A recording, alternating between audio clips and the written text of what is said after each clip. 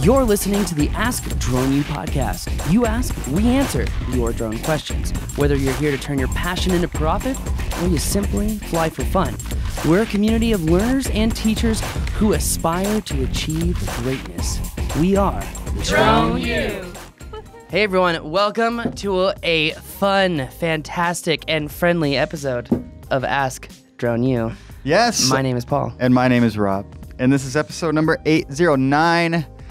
Thank you guys for hanging with us. We really do appreciate it. Hopefully, we'll bring some value to your lives, to your drone lives in these next few episodes. Yeah, definitely. Starting right now. And if you are thinking about starting a drone business because you like to fly, do you know the best time to start?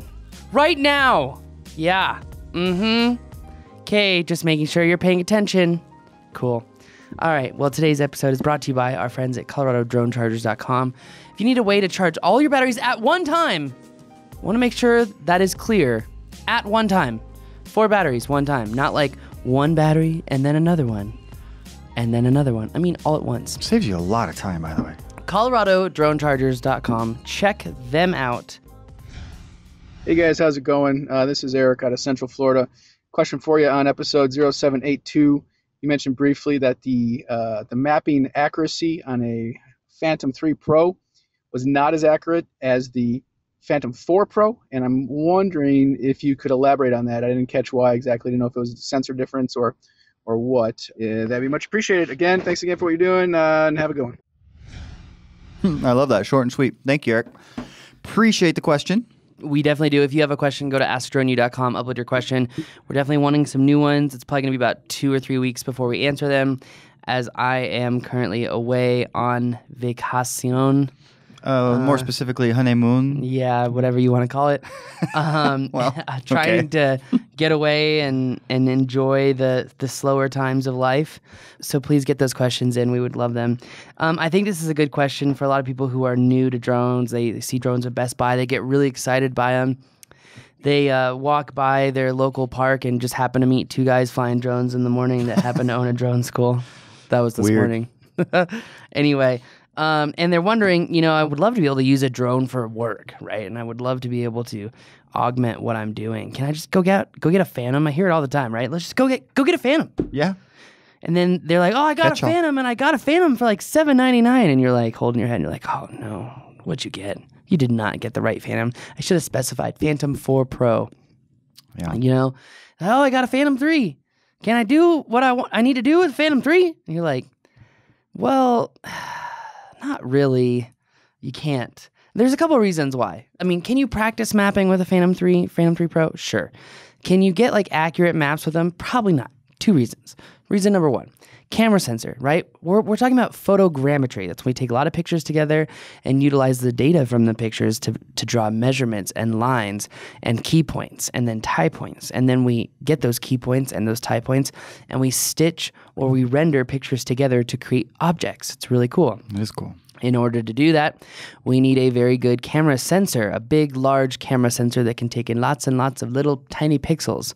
Those tiny pixels become key points that later become tie points, that later become a point in which the entire map can be stitched together. Millions of them. Millions of points. Millions. Well, when we have a 20 megapixel image, we have a lot more potential dots than a 12 megapixel image. 12 megapixel image is what you would find on a Phantom 3, Phantom 3 Pro. Pro. It is not that big of a sensor. Thus, you are not going to have as many dots. Thus, you are not going to have as much quote unquote accuracy. Nor is it even going to look probably as good, right? It's Correct. sharp in the colors, et cetera, et cetera. Correct. 100% agreed. On top of that, the GPS unit is a little bit different from the Phantom 4 Pro unit. You've got not only a different kind of GPS, but you're also acquiring more satellites with the Phantom 4 Pro. So I would say the GPS on a Phantom 4 Pro, as far as horizontal position, is actually very good.